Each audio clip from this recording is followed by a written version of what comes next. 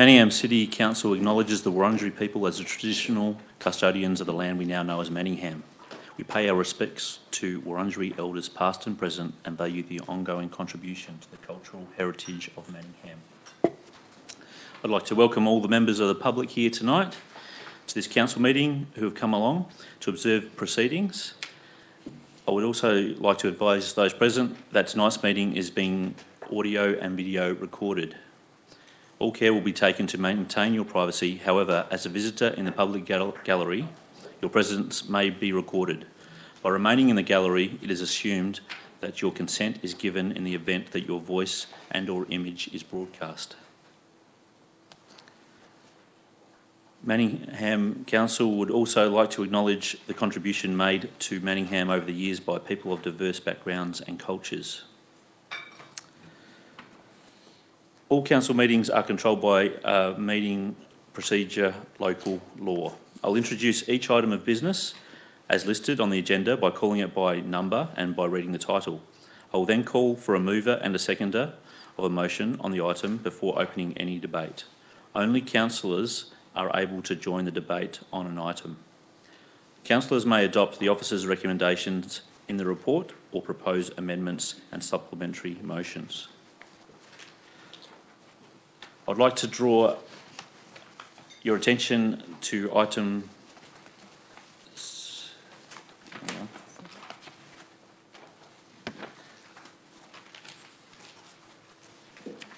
Yep, sorry, got it.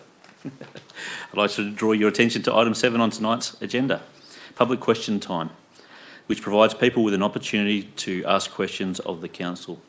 Questions must be registered prior to the commencement of the meeting to be asked if we do not have the information at hand and provide to provide a meaningful response, the question may be taken on notice and a response provided in writing. I would also stress that I will deal with a maximum of two questions per person and two questions on any one issue. If you have more than two questions, please submit these additional questions in writing to Council through the normal channels. There are no apologies. Item two, there are no apologies. Item three, prior notification of conflict of interest. Are there any notifications of conflict of interest? Through, through you, Mr Mayor, I've received a written disclosure of a conflict of interest from Councillor Michelle Kleinert for item 9.3 concerning planning application PL 16 026253 at 121 to 125 James Street, Templestowe, the interest being a direct interest and an indirect interest due to close association. Thank you. Item four, confirmation of minutes. Do I have a mover? Yes. Thank you, Councillor McLeish. Do I have a, do I have a seconder? Thank you, Councillor Haynes. Councillor McLeish. Thank you, Mr Mayor. I move that the recommendation be adopted. The minutes. The minutes. I'll go to the right page in a second. Thank you. I move that the minutes of the ordinary meeting of council held on 27th of February 2018 to be confirmed. Should I like? Thank you. Thank you, Councillor Haynes. Councillor McLeish, would you like to add anything? Nothing to add, Mr Mayor. Councillor Haynes. Any other speakers against? Put that motion. Those four. Thank you. That's carried. Item five, presentations. I'd like to just take a moment to highlight Anzac Day next month. Between now and the 25th of April, Doncaster, Templestowe and Warrandyte RSLs will be selling Anzac badges and holding a number of local events, including the three separate commemorative services on Anzac Day. The service will also be held on Sunday, the 22nd of April at the Doncaster RSL for people who can't make the Anzac Day service. For those, uh, by supporting these activities, we say thank you to those who have gone before us in service to our country and for those who are still serving. I would encourage everyone to contact your local RSL if you want further information regarding these activities. I'd also like to bring, our, bring your attention to some great news for Manningham. and that, that uh, our transformation and statutory planning team won the overall award for Best Customer Experience Achievement of the Year for the online review, online view, sorry, payments and lodgements project at last at um, a recent Municipal Association of Victoria Technology Award night. Additionally, our Citizen Connect and Contact Centre team also received a highly commended award in the category of Customer Experience Achievement of the Year. So well done, team. Thank you. Indeed. Item six, petitions. There are no petitions. Item seven, public question time. Now, I understand we have received one question from Horst Wisk. Would you like to come to the microphone, please? At the front.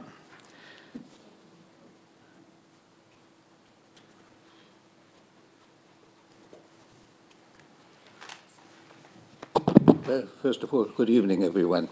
My name is Horst Günther Ernst Weske. I live at Unit 132 Frederick Street, Doncaster, since 1998. Prior to that, I lived in Sassafras Drive and Manningham Road, with an absence of 21 and a half years in Sydney. I am uh, concerned about a subject I've always been concerned, and that is the keeping of the nature strips tidy. I am asking the council, why can't the council organize that the nature strips are kept in accordance with cleanliness and that people who do not want to have the council do this job opt out. But if they then in turn do not keep that nature strip tidy, they will be fined and the contractor be put in on the job to do it. First of all, it gives work for contractors, and secondly, it keeps our neighborhood nice and beautiful, which Doncaster Templestowe has been known for, and which I would like to keep that way if at all possible.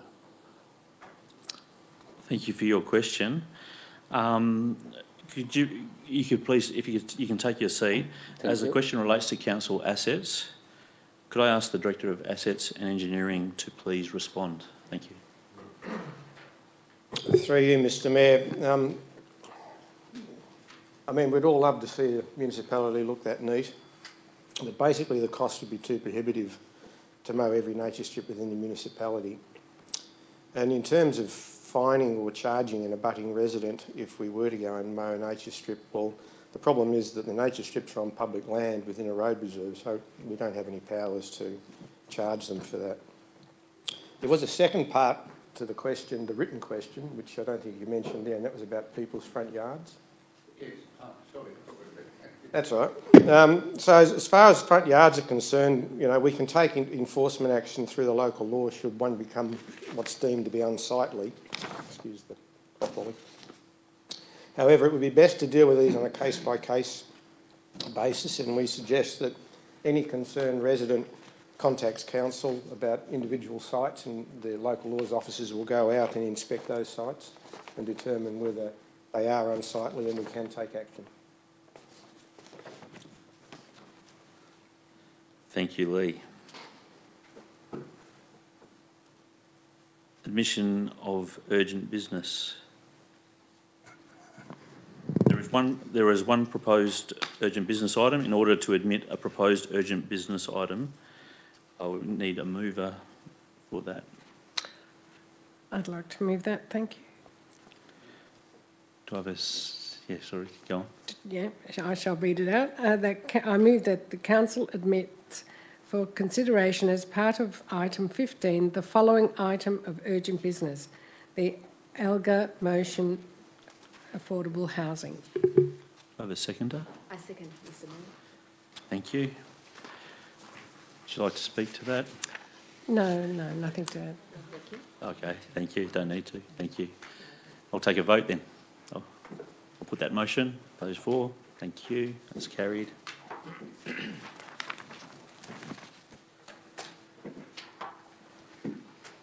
Section nine, planning permit applications, nine point one, planning op- application PL 170276636 at 534 to 540 Doncaster Road, Doncaster, for the use and development of the land for an eight-storey building over basement car parking comprising a food and drink premises, cafe, and a retail premises at ground floor level and accommodation above, comprising a residential aged care facility and a retirement village. Do I have a mover for the motion? Councillor Haynes. Mr Mayor, I move that the officer's recommendation be adopted with the following amendment to the dot point 47 that states eight years to be changed to read eight weeks. Thank you. I have a seconder? Thank you, councillor Galbally. Councillor Haynes, would you like to speak to the motion?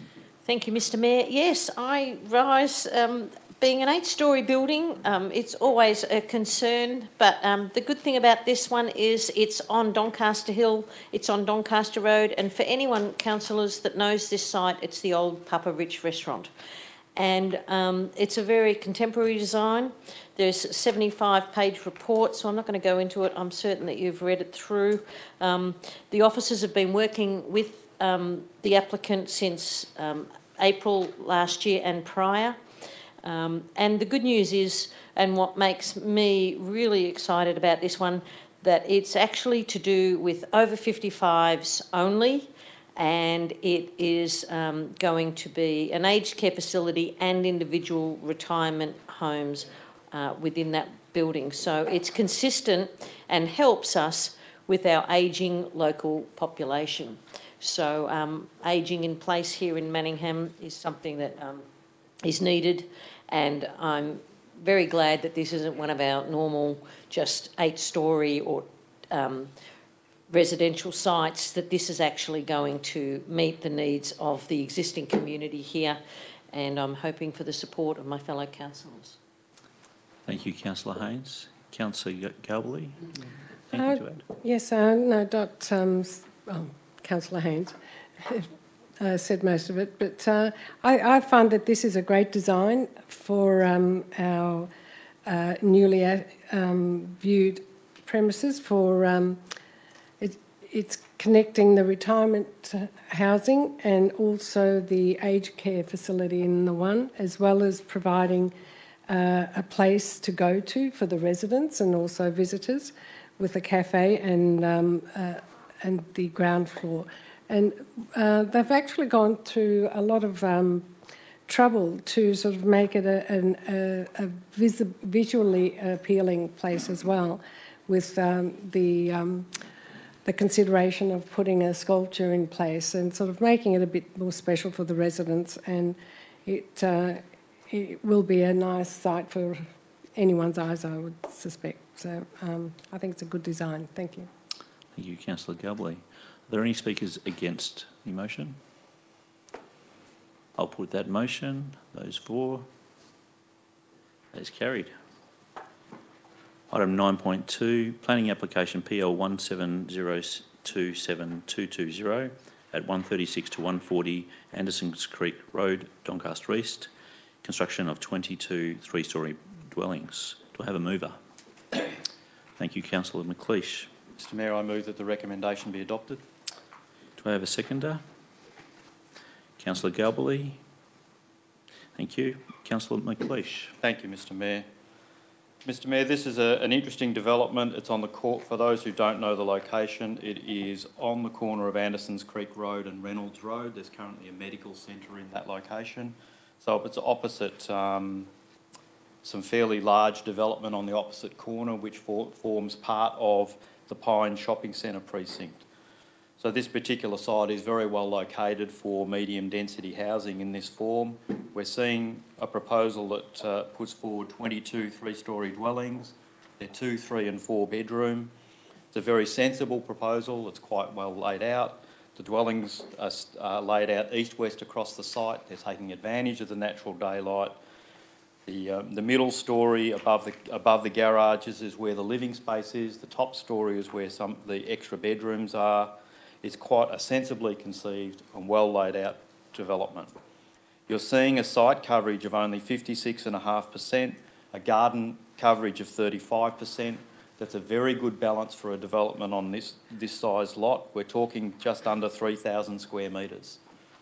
So 22 um, three-storey dwellings, townhouses on 3,000 square metres. It's a pretty good outcome. Uh, and it's certainly, they've done a very good job on the garden layout and the, and the prospective garden design looks very effective. And I think it's going to be a quality addition to this precinct.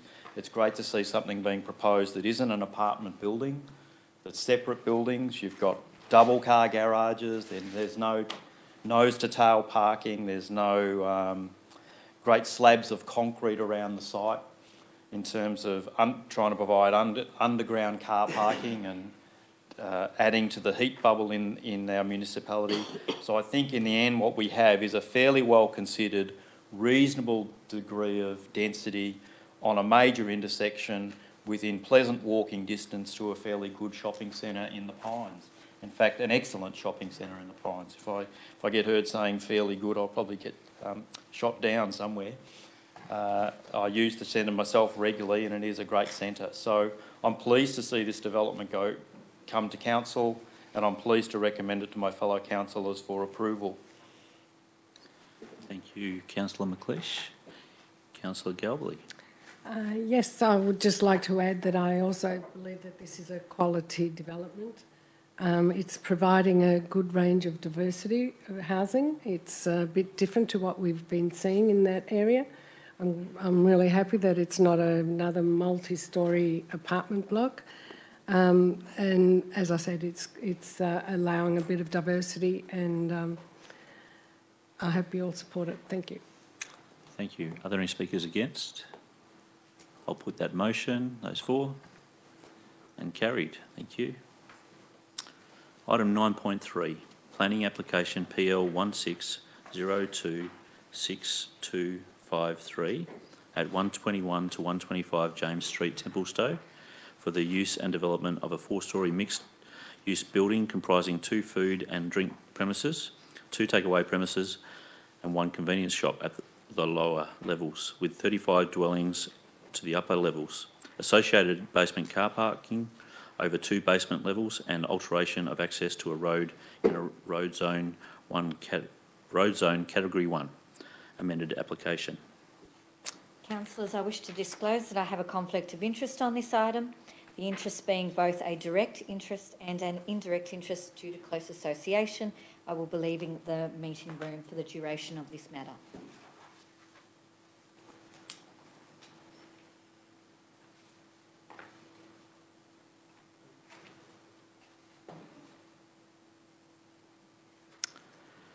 Do I have a mover for the motion?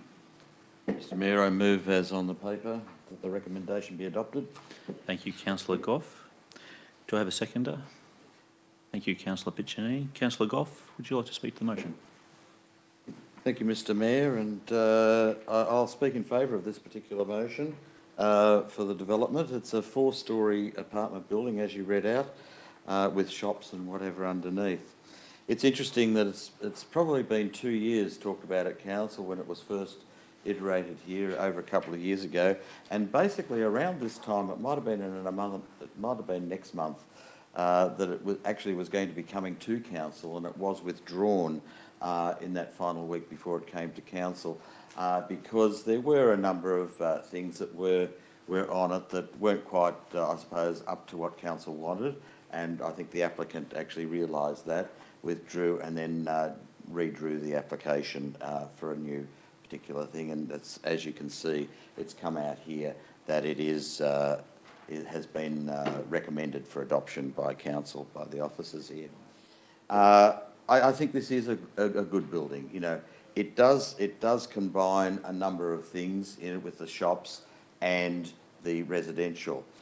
At the moment, this land, and it was identified, and I think you really have to look at our Templestowe Village structure plan, and it's in the DDO eight areas here, and the structure plan actually identified this site as one for development, and uh, being 2,500 or so square metres, it's quite a large, a large uh, building area, um, and one for that shop front and housing on top density.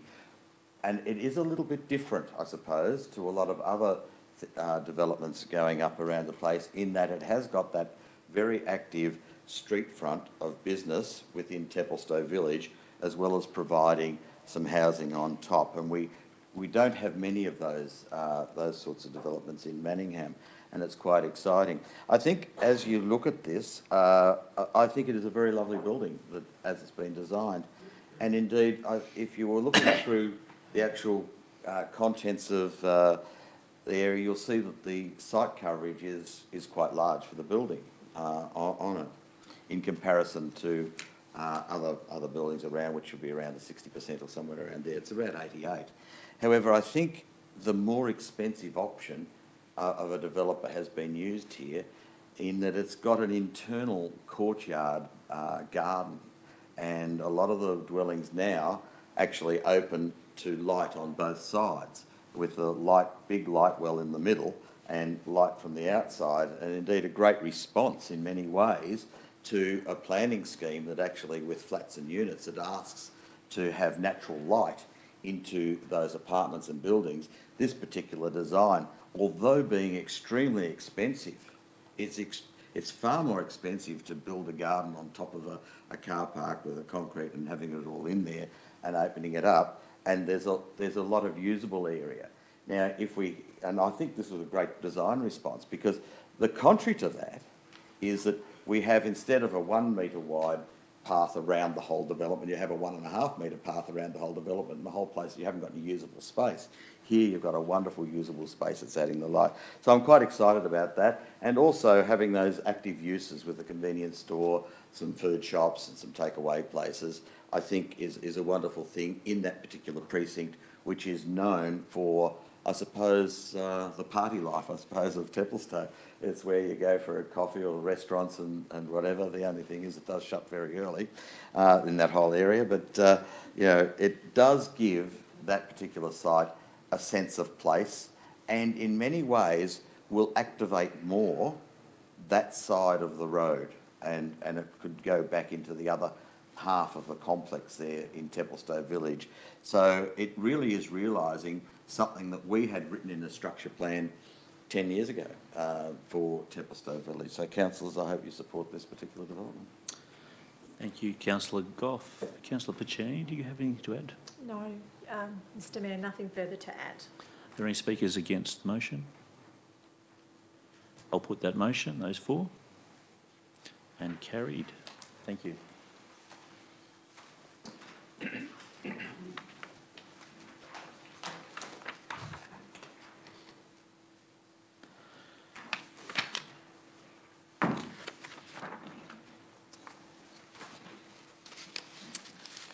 Welcome back.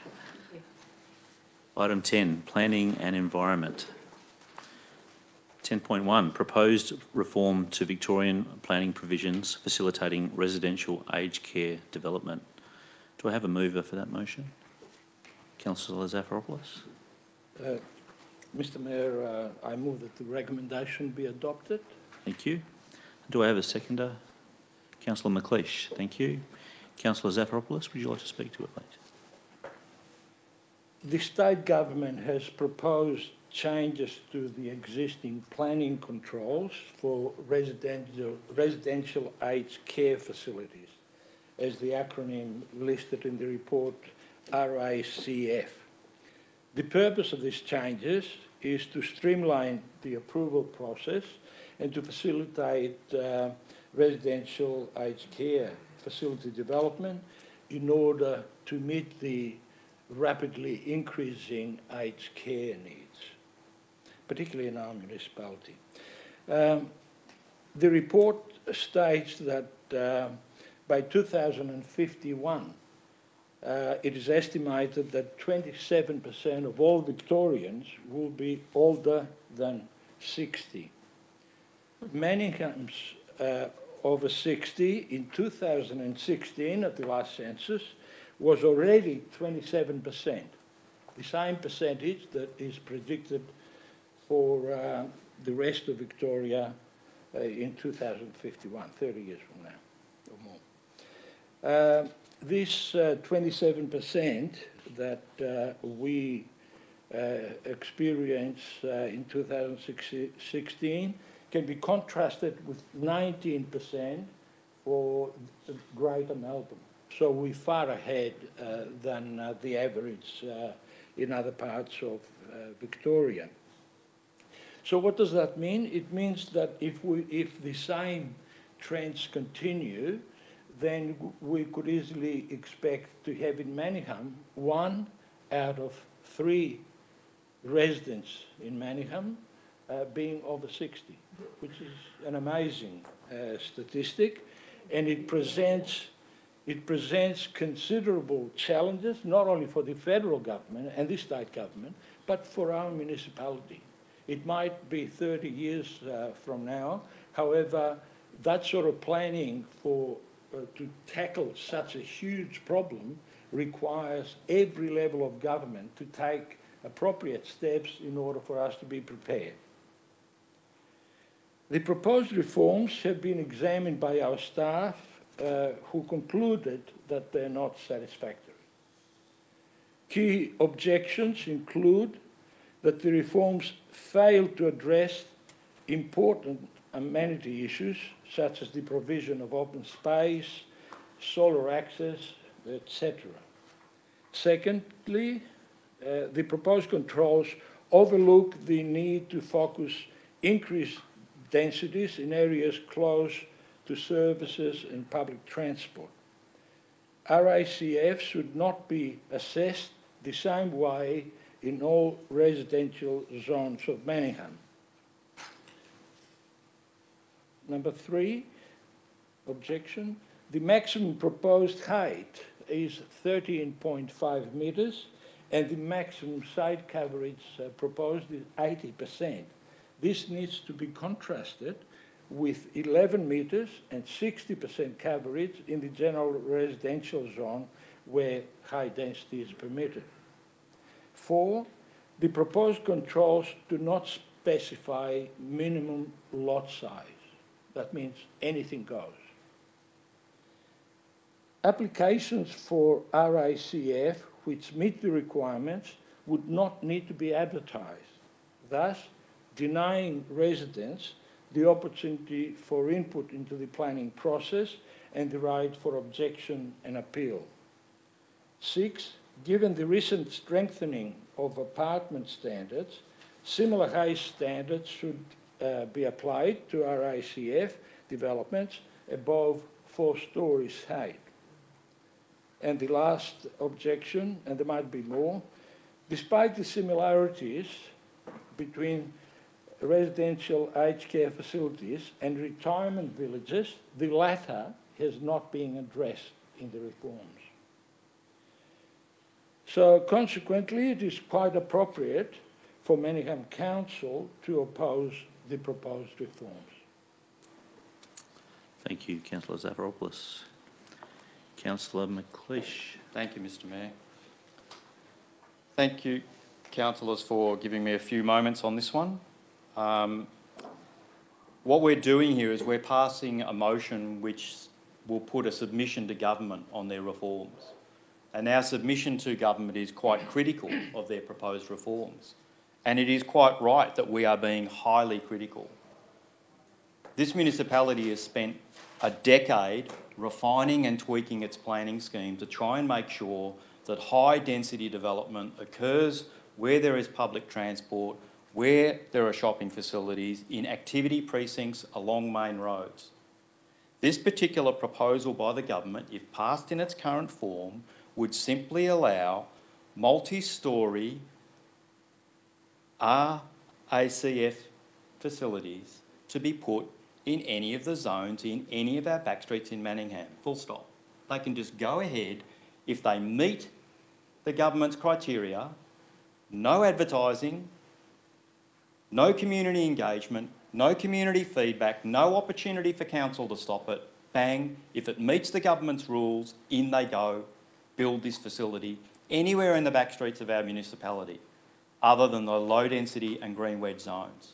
This is an outrageous proposition, councillors.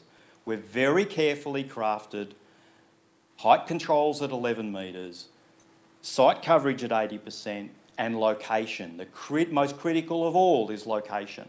Location of such high density facilities must be on main roads where there is public transport and where there are community facilities. To put aged care facilities away from that is ridiculous. It's just ridiculous because it is this the exact cohort that wants to use the shopping centres, that's going to want to use public transport. Why would we put them in the boondocks, side streets of Manningham where we have quiet residential living and allow, without objection, 80% site coverage up to four stories residential aged care facilities? It is a ridiculous proposition from this government in its current form. Worse still, this exemption from advertising and no community involvement. Councillors, we have a fairly politely word, sub, worded submission here to the government, as it needs to be for it to be taken seriously by the department. But make no mistake, in my personal view, this is a reform which is needed, but in its current form, it is a disaster for our municipality. 13 and a half metres instead of 11 in our residential streets, 80% site coverage, no opportunity for objection by councillors or community. It's a fail by the government, it's a poor piece of policy, and we need to, we need to send a strong message to government that this should and must change. It's an election year, now is the time to do it. Thank you, councillor McLeish. Are there any speakers against the motion? I'll put that motion then, those for. Is carried. Item 10.2, Heritage Advisory Committee, review of terms of reference. Do I have a mover? Thank you, councillor Piccinini. Um, I move that the recommendation be adopted. Do I have a seconder? Thank you, councillor Kleinert. Councillor Piccinini. Mr Mayor, this is a fairly simple motion, and that is that we um, adopt the revised terms of reference for the Heritage Advisory Committee. Um, the terms of reference were revised by Council and the actual committee in accordance with our policy, um, our council policy, and there's some key changes to the terms of reference, of which there are four, and I'll mention. And that is that the membership of the committee is to include a representative of the Wonga Park His- History Group. Um, the number of community representatives are reduced from three to two. Um, the inclusion of a requirement that the terms of reference are reviewed every four years. Um, and there's also provision for a maximum term of for community members, and that's three terms of three years each. So um, I, um, I seek that the recommendation be adopted. Thank you, councillor Piccinini. Councillor Kleinert. Anything? Any speakers against the motion? I'll put that motion. I just have a question. Sure. A clarification, was the, um, um, the way that that we've now written this up, was that taken to the Heritage Committee at all? It was? That's what I thought. Yeah, I just, I thought, Yep. thank you. Okay, I'll put that motion. Those for? Thank you. Those against? Gets carried. Item 11, Assets and Engineering, item 11.1, 285 to 287 George Street, Doncaster, sale of Park Road Reserve. Do I have a mover for the motion? That the recommendation be adopted. Thank you, councillor Kleinert. Do I have a seconder? Thank you, councillor McLeish. Councillor Kleinert, would you like to add anything? Councillor McLeish? Nothing. Are there any speakers against? I'll put that motion. Those for? Thank you. That is carried.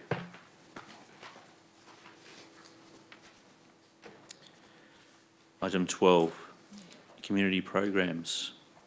12.1, community care services update. Do I have a mover? Thank you, councillor Kleinert. That the recommendation be adopted. Do I have a seconder? Councillor Galbally. Councillor Kleinert? Nothing to add. Councillor Galbally. Any speakers against?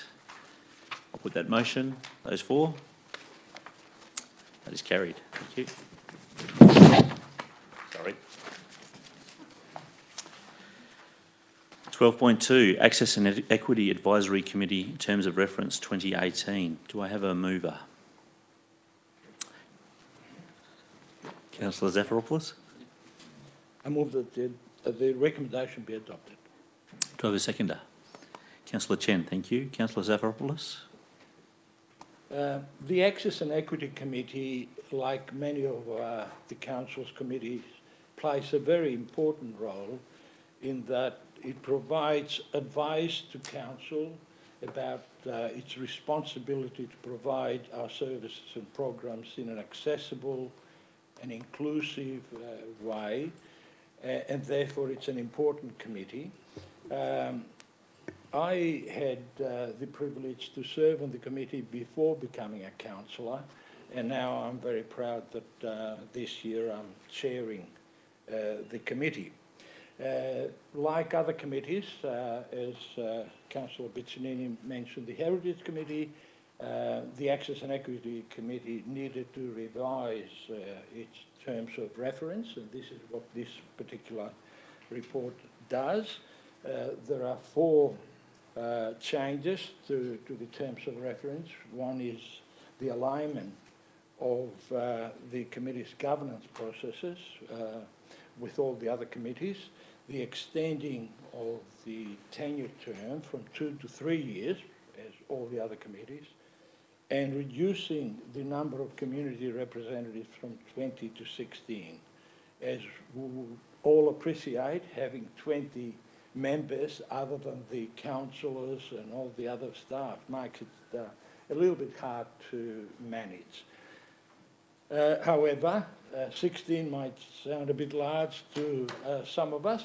Nevertheless, uh, the, this committee has got such a diversity of issues to consider that it is important that every sector affected by the committee is represented in the committee. And the last thing is, um, as all the other committees, uh, it's been resolved to publish the committee's minutes in the uh, council's website. I strongly recommend that we accept uh, and endorse the committee's references and any action which results as a subsequent of that change. Thank you. Councillor Chen, do you have anything to add? Uh, Yes, I just want to say that, Mr. Mayor, that I used to be a committee member for about nine years before I came to council. So I have seen firsthand the passion and the contribution the members make to council. So my fellow councillor uh, Zafiropoulos have said it all about the updated terms of reference, including the uh, making the minutes public and the extension of the terms of uh, uh, terms from two to three years. And um, I support the updated terms of reference, and uh, I also wish to take this opportunity to encourage our residents to put their hands up to be part of this important Access and Equity Advisory Committee. Thank you. Thank you, Councillor Chen. Are there any speakers against the motion? I'll put that motion, those for. That is carried. Item 13, shared services. There are no shared services reports. Item 14, Chief Executive Officer. Item 14.1, Manningham Quarterly Report, Quarter 2, 2018. Do I have a mover? Councillor Gough? Move that the recommendation be adopted. Thank you. Do I have a seconder? Councillor McLeish. Councillor Gough? Thank you very much, and uh, I'm very happy to get up here and uh, talk about this quarterly report, which came due, I suppose it was the October to December one, so we're talking about halfway through the year, uh, of the financial year that is, uh, of work that's being done. And I, again, I just want to say how wonderful the set out of this report is, not just for councillors. If you want to, you can find out more information, but for community to really get a quick grab of a lot of information about the welfare and the health of our organisation very quickly and easily in this graphic form. And uh, it, is, it is absolutely wonderful. So, uh, again, congratulations to the, the people that came up with that uh, set out because it makes it easy to look through and it actually allows you to say, well, all right, there are a couple of things that we need to look at and quickly identify them. I do want to talk, uh, I suppose, about a couple of things because uh, it does, uh, I suppose, point out the fact that, yeah, at this particular point, there are some projects that haven't got done under the capital works or whatever, but they're quickly in here. There are some reasons why they are, and hopefully by the time we get this next quarterly report, all of those uh, elements will have come online again. But I do want to uh, celebrate something here with regard to an important thing that I think uh, we all need to celebrate and the community need to understand is that we do respond to things and problems to fix them and solve them. And that's the important thing. The fact that we've got a problem isn't the problem. It's what we do about a problem, and if we if we're all committed to actually work on it and fix it, then that's what that's what anyone in the community only wants and expects. Things do happen.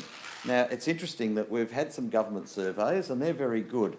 Not to blame or put a hierarchy on councils, good councils, bad councils, or whatever, but when you have surveys and, and th things from across all council, that what it does is it lets you look at areas that you might stand out in that is different to the others.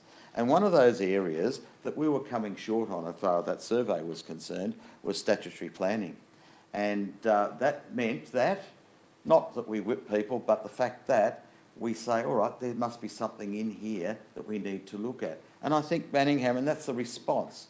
And, and I think any community can be very happy when a, when a council does respond to indicators that it is given, instead of sort of saying, oh, well, you know, bad luck, or, you know, that's the way it is here, or whatever. We have worked on it, and councillors, I think it's, it's really worth looking at page, uh, I think it's 278, and um, uh, in, in, in your reports, and really it does celebrate here, I suppose, a change. And if you actually look at those little bar graphs, uh, the grey ones were last year, and the, uh, the, the red ones are this year. Uh, so if we can actually start at uh, quarter three, and then quarter, uh, sorry, quarter quarter four. So we're, we're starting from three and four. So we're starting probably up till that quarter four would be the um, end of June, all right, last year, uh, in the decisions made within the 60-day time limit. And, you know, for the, a lot of the early part of that last year, we were down at, um, what was it, 20, was it? No, it's more than that.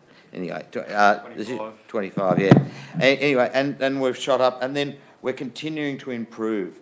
And let's hope we can continue to improve uh, as, as we go, go on here, because that is an important area for the reputation of council, and it's an important area for community, and it's an important area for not just uh, residents and other people for decisions, but any businesses or anyone else that is actually investing in something.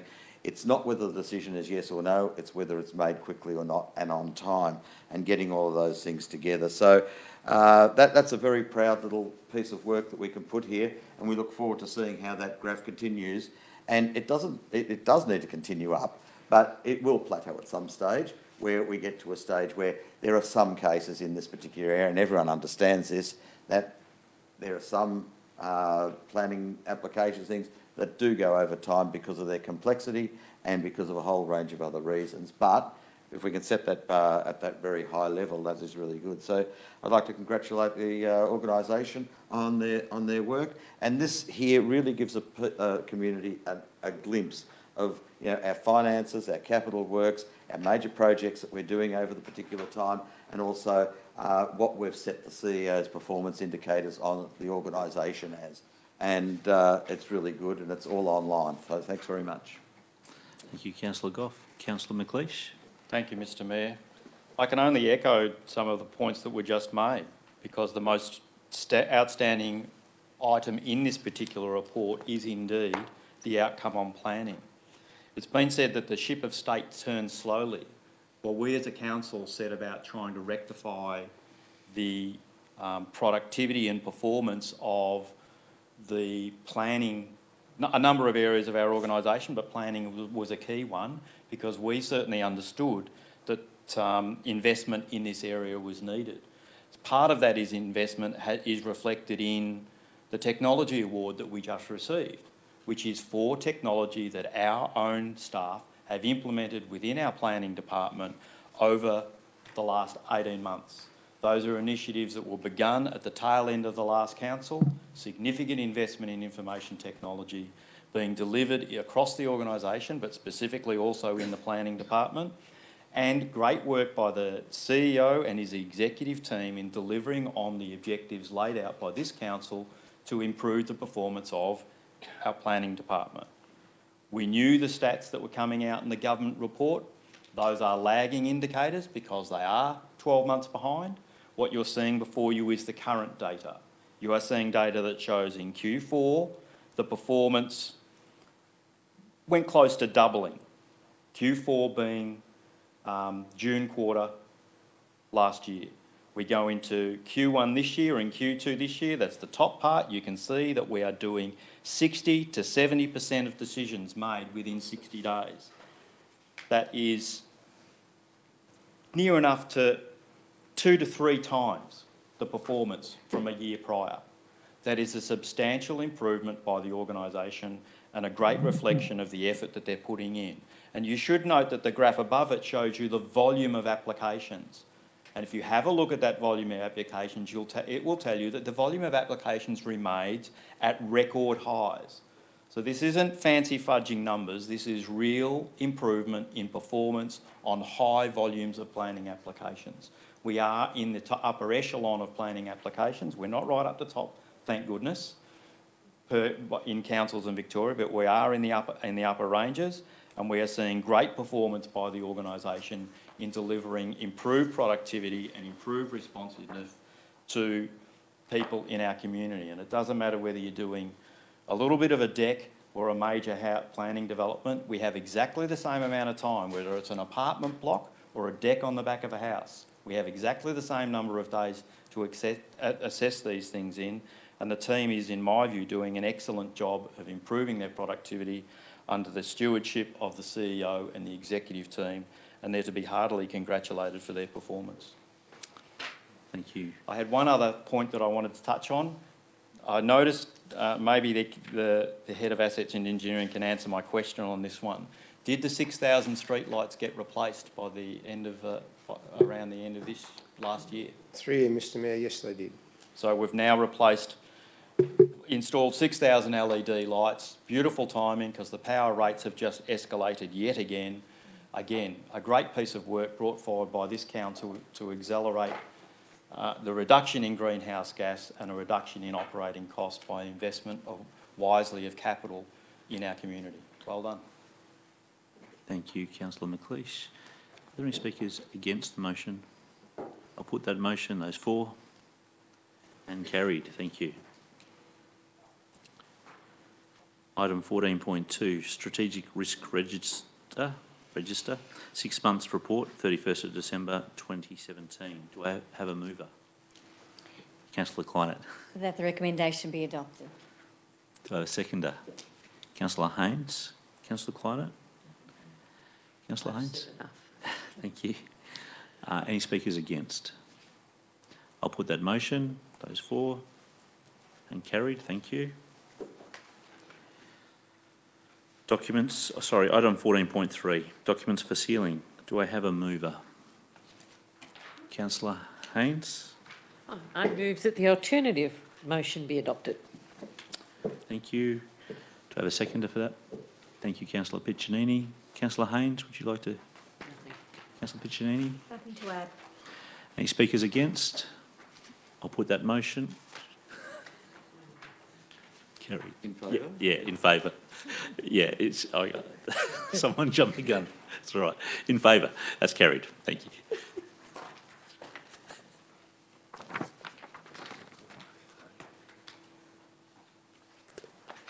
Um, 14.4, record, record of assembly of councillors. Do I have a mover? Thank you, Councillor Piccinini. I move that the recommendation be adopted. Thank you. Do I have a seconder? Councillor Chen. Councillor Piccinini? Nothing to add. Councillor Chen? Nothing to add, Mr Mayor. Any speakers against? I'll put that motion, those for. And that is carried.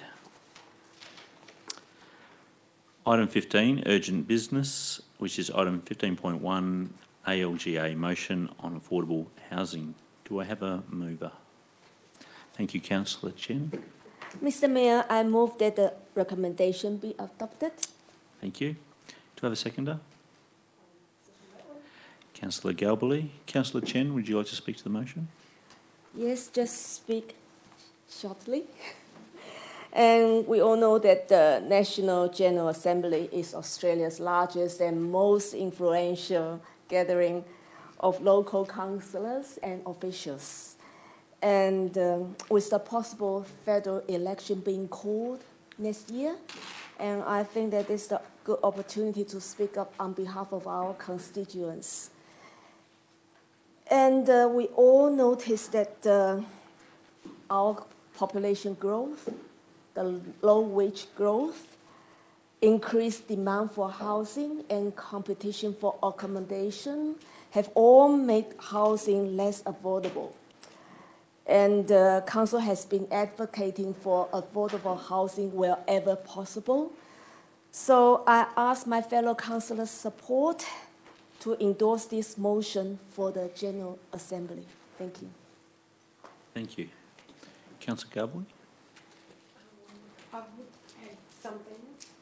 Very short. Um, look, affordable housing is, um, I I think all of us here know that it's not social housing as such. It is, it is looking at affordable housing for those of us who uh, cannot afford uh, the current um, stock that's out there in housing. Um, but also it, to look at people that are margin, you know, on the marginal side of the income stream. And uh, we have to look at um, uh, young adults with disabilities and um, as well as um, uh, the low income earners or the, um, I, think I think it's recorded where, where the public service people that are on a lower income bracket, like your police, your nurses, and we don't want to lose them in our inner city environments um, to go to um, outer reaches just so they can afford their housing. So it's not just a council and a local issue, this is a state and federal issue as well. And, it, and we can only really get some real traction here if all three levels of government uh, form together and to sort of uh, make a strong stand on this one. So um, uh, by us putting a motion out to ALGA, it, uh, it cements our stand a bit stronger, and I'm sure other councils will be um, probably putting uh, similar motions as well. So um, I'd like to support this one. Thank you. Thank you, Councillor Galbally. Any speakers against? I'll put that motion, those for, and carried. Thank you. Item 16, councillors' question time. Are there any questions from councillors? Nope. Item 17, confidential reports. There are no confidential reports. There be no, be, being no further items, I'll close the meeting. Thank you, everyone, for your attendance.